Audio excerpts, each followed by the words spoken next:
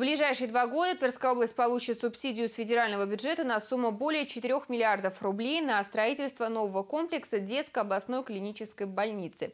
Ее возведение начнется в рамках национального проекта здравоохранения. Соответствующее распоряжение подписал председатель правительства России Дмитрий Медведев. В настоящее время ведется подготовка земельного участка под строительство объекта.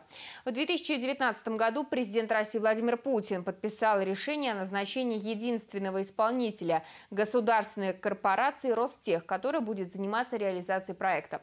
Новая больница рассчитана на 420 коек и 13,5 тысяч посещений в год. В стационарный блок войдут 17 отделений. Предусмотрено обустройство необходимой инфраструктуры, парковка для автомобилей, боксов для скорой помощи, вертолетной площадки. Осуществление одного из принципов э, успешной реализации национальных проектов, в частности демография на территории Тверского региона, является транспортная логистика.